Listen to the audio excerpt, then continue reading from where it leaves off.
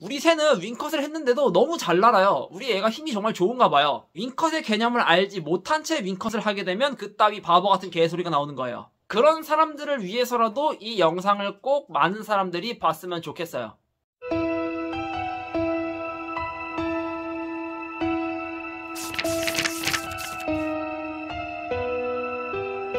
아니 왜 이 머리만 이렇게 쓰냐? 안녕하세요. 신비한 동물을 사랑하시는 마법사 그리고 먹을 여러분들 비둘기 사촌입니다. 네, 여러분에게 다시 정보를 드리기 위해서 마법사가 돼서 돌아왔습니다. 아, 근데 진짜 이게 망토 입기에는 너무 이제 덥다 날씨가. 지금 친해지는 방법 시리즈 하면서 지금 산책을 하는 방법을 알려줬고 그러다 보니까 어, 산책에 있어서 좀 중요한 요소들을 하나하나 알려드리고 있죠 지금. 뭐 썸네일이랑 제목 보고 오셔서 아시겠지만 오늘의 주제는 바로 윙컷에 대한 이야기를 여러분께 알려드리려고 해요. 지금 윙컷을 이미 하신 분들도 있고 곧 있으면 해야 되시는 분들도 있고 뭐 그럴 텐데 아무튼 윙컷을 본격적으로 하시기 전에 이 영상을 보셨으면 좀 좋겠다라는 생각을 하면서 여러분께 이렇게 영상을 찍고 있습니다. wing cut을 다짜고짜 하기 전에 일단 wing cut의 개념을 먼저 이해하고 해보도록 합시다. 뭐를? wing cut을. 자, let's go!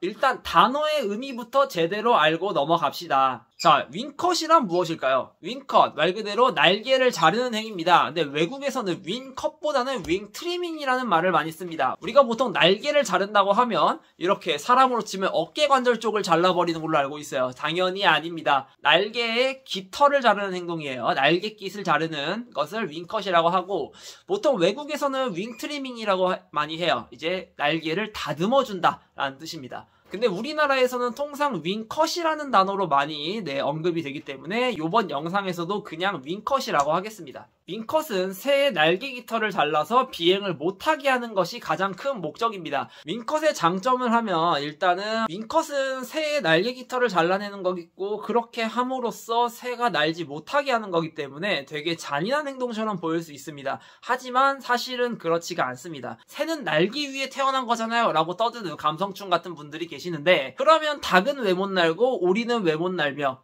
예, 그런 새들이 참 많은데 참 그렇습니다. 뭐 단순히 뭐 전시를 하는 동물이나 그러면 또 모르겠는데 가정에서 애완용으로 키우는 앵무새들은 얘기가 달라져요. 오히려 윙컷은 더 장점으로 작용하는 경우도 많습니다. 윙컷을 함에 있어서 장점은 첫 번째로는 새를 분실할 위험이 확실히 줄어듭니다. 아무리 잘 길들여진 앵무새라고 해도 어떤 외부적인 요소에 의해서 뭐 놀란다거나 또는 호기심을 품었을 경우 날아가고 보는 경향이 큽니다. 새들은 그 비행이 아주 효율적인 이동수단이기 때문에 무슨 일이 터지면 일단 날고 보는 성, 성향이 있어요. 이거는 뭐 앵무새뿐만 아니라 많은 새들이 그러거든요. 근데 윙컷을 해버리면 튀어나가더라도 멀리 가지 못하기 때문에 금방 주워올 수 있는 그러니까 다시 말하면 사고를 방지함에 있어서 아주 좋은 방법 중 하나이기도 하고요. 그리고 두 번째는 주인에게 의존하는 성향이 매우 높아집니다. 비행을 하게 되면 자기 마음대로 움직이는 게 너무 쉬워지기 때문에 정말 자기 아쉬울 때만 사람한테 오는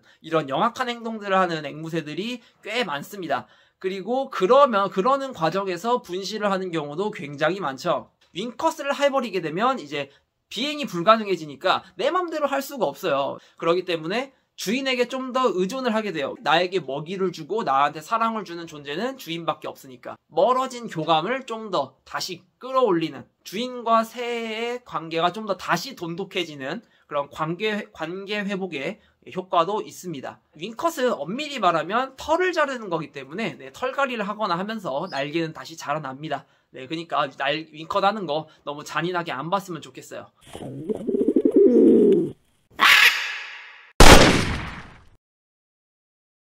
네, 그렇습니다. 앞서 말했듯이 윙컷은 비행을 못하게 하는 겁니다. 따라서 지피지기면 100점 100승이라 했죠. 네, 윙컷을 잘 하려면 비행을 하는 원리에 대해서 알고 계셔야 할 필요가 있다라고 저는 꼭 말씀을 드리고 싶습니다. 윙컷에 대한 영상은 저 말고도 많이 나왔었는데 어, 뭐 영상들 보면 거의 이런 경우가 많죠. 날개 쭉 핀 다음에 뭐 3장 자르면 돼, 4장 자르면 돼, 5장, 6장 자르면 끝입니다. 이렇게 말씀을 하시는데 윙컷에 대한 개념, 맥락을 알게 되면 그렇게 기준을 따져버릇 할 필요가 없어지고요. 어, 그래서도 안 되고요. 아무튼 새는 어떻게 하늘을 나는 것일까요? 음, 일단 새가 비행을 할 수 있는 힘은 양력 때문에 비행이 가능한 겁니다. 여기서 말하는 양력이란 중력에 저항하는 힘입니다. 이 자료를 띄워서 새가 어떻게 양력을 만들어내는 그 원리를 한번 간단하게 소개를 해드릴게요. 새가 하늘을 날게 되면 날개짓을 계속하게 됩니다. 날개짓을 계속해서 기압을 날개 아래쪽으로 계속 내려보내는 거죠.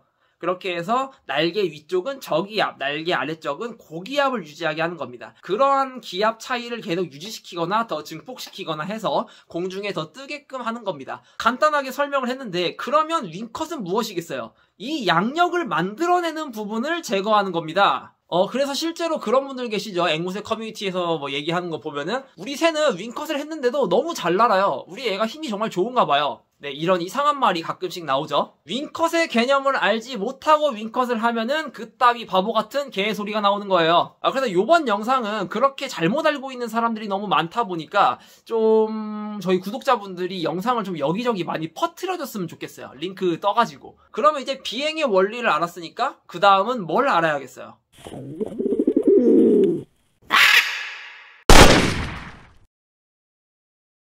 네, 맞습니다. 윙컷은 날개를 자르는 거라고 했죠. 그러면은 날개 어디를 잘라야 되는지도 잘 알아야겠죠. 그러면 또 어떻게 합니까? 날개를 또 알아야 됩니다. 새 날개에 대해서. 날개는 부위별로 되게 복잡한 명칭들이 아주 많습니다. 하지만 이번 영상에서는 그냥 간단하게만 설명을 해드릴게요. 조류의 날개는 크게 세 가지로 나눈다고 생각하시면 됩니다. 아, 여러분들도 혹시 치킨, 윙봉 좋아하시나요? 뼈와 관절, 근육이 붙어 있는 진짜 날개 부위죠. 그 날개 부위를 덮고 있는 관절깃이 있고요. 두 번째는 비행에 있어 가장 큰 힘을 발휘하게 해주는 비행깃이 있고요. 마지막 그 세 번째는 방금 언급한 관절깃과 비행깃 그 둘 사이를 연결하고 지탱해주는 중간깃이 있겠습니다. 그러면 윙컷은 어떤 위치를 잘라야 할까요? 네, 바로 당연히 비행깃을 잘라야 됩니다. 중간깃, 관절깃은 자를 이유가 단 한 개도 없고요. 네, 만약 자르게 되면 미관이 되게 안 예쁠 수 있어요. 잠깐만, 설명을 하기는 했는데 영상을 어떻게 마무리하지? 큰일 났네.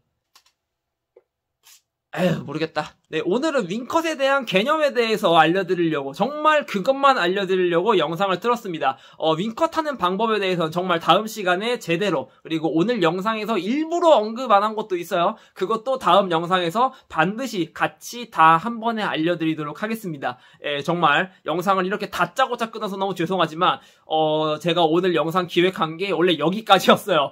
네, 그렇기 때문에 조금만 기다려주시면 진짜 금방 영상 또 올려드리겠습니다. 오늘은 여기까지 할게요. 네, 죄송해요, 여러분. 안녕!